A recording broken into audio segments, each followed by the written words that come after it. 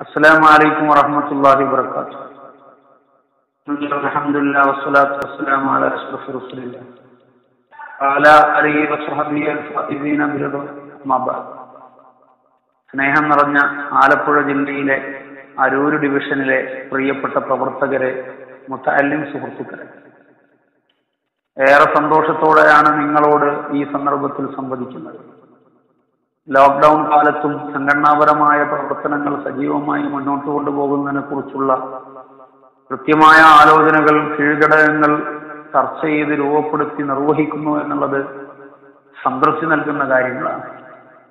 അരൂർ ഡിവിഷന്റെ മുത്താലിൻ സമ്മേളനമാണ് ഇവിടെ നടക്കുന്നത്. അതിന്റെ ഔപചാരികമായ ഉദ്ഘാടന കർമ്മം നിർവഹിച്ചു തരാൻ വേണ്ടി ഡിവിഷൻ നേതൃത്വം ആവശ്യപ്പെട്ടപ്പോൾ അവരുടെ ആവശ്യത്തെ അവഗണിക്കാൻ പറ്റിയില്ല. ആമുഖത്തിൽ തന്നെ ബിസ്മില്ലാഹി റഹ്മാൻ റഹീം എന്ന വിശുദ്ധ വാക്യത്തിൽ തെറ്റുമായ ഈ ഒരു മുത്തല്ലിം സമ്മേളനം ഉദ്ഘാടനം ചെയ്തതായി അറിയിക്കുകയാണ്. ലോക്ക്ഡൌൺ കാലത്ത് എന്തിനാണ് ഇങ്ങനെ ഒരു മുത്തല്ലിം സമ്മേളനം നടത്തുന്നത് എന്ന ഒരു ചോദ്യം സ്വാഭാവികമായ സംശയം മനസ്സിലുണ്ടാകും. ആ സംശയത്തിന്റെ ഉത്തരമെന്ത് എന്ന് ചോദിച്ചാൽ എപ്പോഴും ചലിച്ചുകൊണ്ടിരിക്കേണ്ട ഒരു സമൂഹത്തെ നിഷ്ക്രിയമാക്കി ഇരുത്താൻ നമുക്ക് പറ്റില്ല എന്നതാണ് അതിന്റെ ഒന്നാമത്തെ ഉത്തരം. പ്രത്യേകിച്ച് ഈ പ്രസ്ഥാനത്തിന്റെ നാടി മിടിപ്പായ മുത്തല്ലിം സഹോദരങ്ങൾ. ആ മുത്തല്ലിം സഹോദരങ്ങളിലൂടെയാണ് എസ് എസ് എഫ് എന്ന മഹത്തായ പ്രസ്ഥാനത്തിന്റെ ആത്മീയവും ആദർശപരവുമായ എല്ലാവിധ കൈമാറ്റങ്ങളും നടക്കുന്നത്. അത്തരമൊരു ഈ ഭാഗം സ്വാഭാവികമായും ഇപ്പോഴും ഈ സോഷ്യൽ ഡിസ്റ്റൻസിലായി നിൽക്കുന്ന സന്ദർഭങ്ങളിലും ജാഗ്രതയോടെ എസ് എസ് എഫ് എന്ന മഹത്തായ പ്രസ്ഥാനത്തിന് വേണ്ടിയുള്ള ഇടപെടലുകൾ നിർവഹിച്ചുകൊണ്ടിരിക്കണം. നിഷ്ക്രിയമാകാൻ നമുക്ക് നിവൃത്തിയില്ല. സമുദായത്തിന്റെ എല്ലാ സൗകര്യങ്ങളും ഉപയോഗിച്ച് വളരുകയും വികസിക്കുകയും നമുക്ക് ചെയ്യുന്ന നമ്മെ സംബന്ധിച്ചിടത്തോളം വിശുദ്ധമായ ഇസ്ലാമിന്റെ ദാവത്ത് നിർവഹിക്കുക എന്ന ഒരു വലിയ ഉത്തരവാദിത്തം നമ്മുടെ ശരീരത്തിൽ നിന്ന് ഒരു നിലക്കും മാറ്റി നിർത്താൻ കഴിയാത്തതാണ്.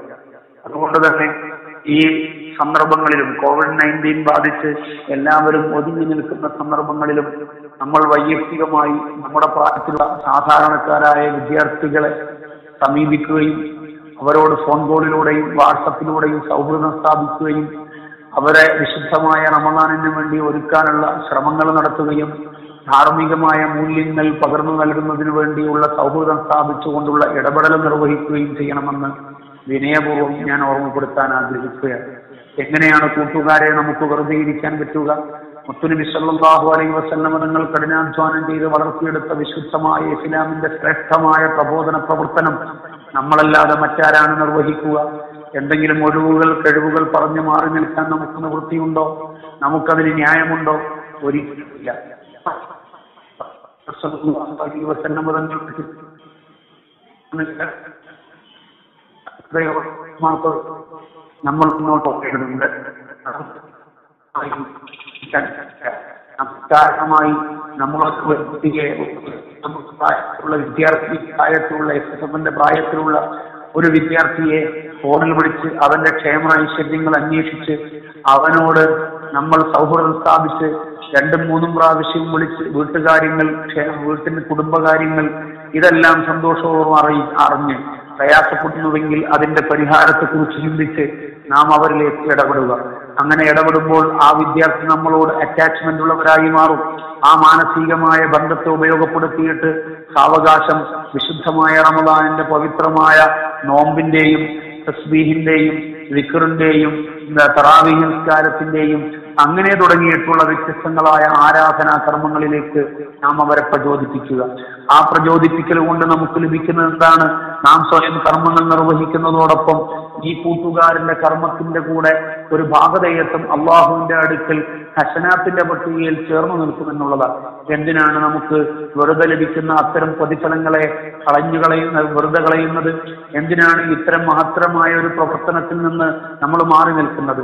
അതുകൊണ്ട് ഇന്നു മുതൽ നമ്മൾ നിർവഹിക്കേണ്ട പ്രധാനപ്പെട്ട ഒരു കാര്യം നമ്മുടെ പരിസരത്തെ നമ്മുടെ ഗ്രാമാന്തരീക്ഷത്തിലെ ഓരോ മുസ്ലിം വിദ്യാർത്ഥിയുടെയും ആത്മീയവും ആദർശപരവുമായ കെട്ടുറപ്പിന് വേണ്ടിയുള്ള കൃത്യമായ ഇടപെടലുകൾ ഈ സാഹചര്യത്തെ ഉൾക്കൊണ്ടുകൊണ്ട് നിർവഹിക്കാൻ നമ്മൾ മറന്നു പോകരുത്. ഒപ്പം നമ്മൾ പഠനകാലത്ത് സംഭരിച്ച എന്തെല്ലാം ചിട്ടകളുണ്ടോ അതൊന്നുകൂടെ നല്ല രീതിയിൽ കൂടുതൽ ജാഗ്രതയോടുകൂടെ ശീല ശീലമായി കൊണ്ടു നടക്കേണ്ടതുണ്ട്. ആത്മീയമായ വളർച്ച ഒന്നാമത് നമുക്കുണ്ടാകേണ്ടതുണ്ട്. നമ്മൾ ചെയ്തു പോയ തെറ്റുകുറ്റങ്ങൾ വല്ലതുമുണ്ടെങ്കിൽ പടച്ചറബിനോട് ഖേദിച്ചു മടങ്ങി പൊരുത്തപ്പെടിക്കേണ്ടതുണ്ട് റമദാൻ വരുന്നതിന് മുമ്പ് ഒരുപക്ഷെ റമദാനിന്റെ ആദ്യത്തെ പത്ത് മഹസ്രത്തിന്റെതാണ് പക്ഷെ ആദ്യത്തെ മഹസ്രത്തിൽ പാപമോചനം തേടി രക്ഷപ്പെടാമെന്ന് വിചാരിക്കുന്നതിന് പകരം ഷാബാനിന്റെ അവസാന ഘട്ടത്തിൽ നിൽക്കുന്ന ഈ സന്ദർഭത്തിൽ അള്ളാഹുവിലേക്ക് ഖേദിച്ചു മടങ്ങിയിട്ട് മനസ്സ് വിശുദ്ധമാക്കിയിട്ട് നിഷ്കളങ്കമായ ഹൃദയത്തിന്റെ സാന്നിധ്യത്തോടെ വിശുദ്ധമായ റമദാനിനെ നമ്മൾ സ്വീകരിക്കുക. അള്ളാഹു നമ്മളോട് കാരുണ്യം ചെയ്യും അവൻ നമ്മെ ഏറ്റെടുക്കും അവൻ നമ്മെ സ്വീകരിക്കും. പ്രതീക്ഷയുടെ മനസ്സോടെ കാരുണ്യത്തിന്റെ വർഷങ്ങൾ അഖിലവും ഉണ്ടാകുന്ന വിശുദ്ധമായ റമദാനിന്റെ രാപ്പകലുകളിൽ വിശുദ്ധ ഖുർആൻ ഓതിയിട്ട് ഒരുപാട് ഫത്തുമകൾ നിർവഹിക്കുക. ഒരു മൂന്ന് ഹത്തുമെങ്കിലും നമ്മൾ പൂർത്തിയാക്കുക. ചെല്ലുവാൻ ചെല്ലു നമുക്ക് റമദാനിൽ നിർവഹിക്കും. ചെല്ലാൻ വേണ്ടി നബി സല്ലല്ലാഹു അലൈഹി വസല്ലം തങ്ങൾ പഠിപ്പിച്ചിട്ടുള്ള ഒരുപാട് അൽക്കാറുകളുണ്ട് അത് നമ്മൾ കൃത്യമായി പതിവാക്കുക പലയാവർത്തി ചൊല്ലിക്കൊണ്ടിരിക്കുക മനസ്സ് അള്ളാഹുവിലേക്ക് ലയിപ്പിച്ച് മുന്നോട്ട് പോകുക. അങ്ങനെ വിശുദ്ധമായ റമദാനിന്റെ പവിത്രമായ കർമ്മങ്ങൾ നമ്മൾ ഓരോരുത്തരും നിർവഹിച്ചുകൊണ്ടേയിരിക്കുക. നമ്മുടെ കൂടെയുള്ള വിദ്യാർത്ഥി സഹോദരങ്ങളെയും ആ ഒരു വഴിയിലേക്ക് കൈപിടിച്ചു കൊണ്ടുവന്നുകൊണ്ടേയിരിക്കുക. അതോടൊപ്പം തന്നെ വൈജ്ഞാനികമായ വികാസത്തിന് വേണ്ടി ഏതെല്ലാം അവസരങ്ങൾ നമുക്ക് ലഭിക്കുമോ അതെല്ലാം നമ്മൾ ഉപയോഗപ്പെടുത്തുക. അലസമായ സോഷ്യൽ മീഡിയയിൽ മൂല്യമുള്ള സമയത്തെ കൊന്നു തീർക്കുന്നതിന് പകരം ജാഗ്രതയോടെ അത്തരം സംവിധാനങ്ങളെ കൈകാര്യം ചെയ്യുക. അവിടങ്ങളിൽ നിന്നെല്ലാം എനിക്ക് കൂടുതൽ എന്റെ വിജ്ഞാനത്തെ വികസിപ്പിക്കാൻ എന്ത് കിട്ടും എന്നതിനെ കുറിച്ച് ആലോചിക്കുക. ആ രീതിയിൽ നമ്മുടെ എല്ലാ ശീലങ്ങളും നമ്മുടെ എല്ലാ ഇടപെടലുകളും നമ്മുടെ എല്ലാ കാര്യങ്ങളും വളരെ കൃത്യമായി മുന്നോട്ട് കൊണ്ടുപോകാൻ നമുക്ക് കഴിയണം.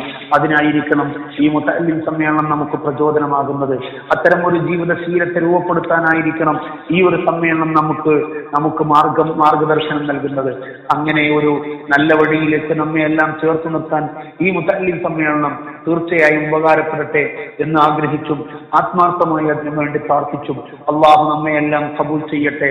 നന്മയുടെ നാളുകളിൽ പുണ്യങ്ങളുടെ പുക്കാലങ്ങളിൽ കൂടുതൽ ആരാധനാക്രമങ്ങൾ നിർവഹിച്ച് നമുക്ക് അള്ളാഹുവിലേക്ക് ചേരാനുള്ള സൗഭാഗ്യം ഉണ്ടാകട്ടെ എന്ന് പ്രാർത്ഥിച്ചുകൊണ്ട് നിങ്ങളെല്ലാവരും പ്രാർത്ഥിക്കണം എന്ന് വസീയത്ത് ചെയ്ത് ഏപ്രിൽ ഇരുപത്തിയൊൻപത് എസ് എസ് എഫിന്റെ പിറവിയെടുത്ത സ്ഥാപക ദിനമാണ് നാൽപ്പത്തിയെട്ടാമത് സ്ഥാപക ദിനം വ്യത്യസ്തങ്ങളായ പ്രവർത്തനങ്ങൾ ആത്മീയമായ കാര്യങ്ങൾ നിർവഹിച്ചുകൊണ്ട് നമ്മുടെ എല്ലാം ആദരണീയ നേതൃത്വം എസ് എസ് എഫുകാരന്റെ ഷെയ്ഖായി നമ്മൾ സ്വീകരിക്കുന്ന സുൽത്താനുലമ കാന്തപുരം ഉസ്താദിന്റെ കൂടെ ഇരുപത്തിയൊൻപതിന്റെ പകലിൽ ബഹുറിന്റെ ജമാഅത്ത് കഴിഞ്ഞ് ഒന്നര മണി മുതൽ മൂന്നര മണി വരെ നമ്മൾ സംഗമിക്കുകയാണ്. അസ്മാ ഉൽ ഹുസ്ന ചൊല്ലി നാൽപ്പത് വക്ത ജമാഅത്ത് കൃത്യമായി നിർവഹിച്ച് വിശുദ്ധ ഖുർആാനിലെ മുൽക്ക് പാരായണം ചെയ്യുന്ന പതിവുണ്ടാക്കിയിട്ട് മുത്തനബി സല്ലല്ലാഹു അലൈഹി തങ്ങളുടെ പേരിൽ സ്വലാത്ത് ആവർത്തിച്ച് എഴുതിയിട്ട് മരിച്ചുപോയവർക്ക് വേണ്ടി ആശീനോദിയിട്ട് അതുപോലെ തന്നെ നമ്മൾ മരിച്ചാൽ സ്വർഗത്തിൽ കിടക്കുന്നതിന് വേണ്ടി നമ്മൾ തന്നെ ചൊല്ലിത്തീർത്ത എഴുപതിനായിരം ദിക്റുകൾ അതൊന്നും പൂർത്തിയാക്കിയിട്ട് ഇരുപത്തിയൊൻപതിന്റെ പകൽ നമ്മൾ ഒരുമിച്ച് കൂടിയാൽ അത് എത്രമേൽ ശ്രേഷ്ഠമായിരിക്കുമെന്ന് നാം ആലോചിക്കണം. നിങ്ങൾ ഇപ്പോൾ തന്നെ അതിനുവേണ്ടി തയ്യാറെടുക്കുക. ഈ പറഞ്ഞ കാര്യങ്ങൾ നിർവഹിക്കുക. നമ്മുടെ കൂട്ടുകാരിലേക്ക് കൂടെ ഈ ആശയങ്ങൾ പങ്കുവെക്കുക. അവരെയും കൂടെ ഈ വഴിയിലേക്ക് കൈപിടിച്ച് കൊണ്ടുവരിക.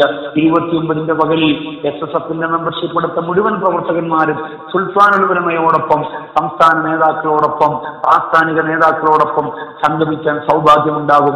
നിങ്ങളെയൊക്കെ സ്നേഹപൂർവം ക്ഷണിച്ച് യുആർസിയത്തോടെ അലഹമുല്ലാഹി റബ്ബുൽ ആലമീൻ. അസ്സലാമു അലൈക്കും വറഹ്മത്തുള്ളാഹി വബറകാതുഹു.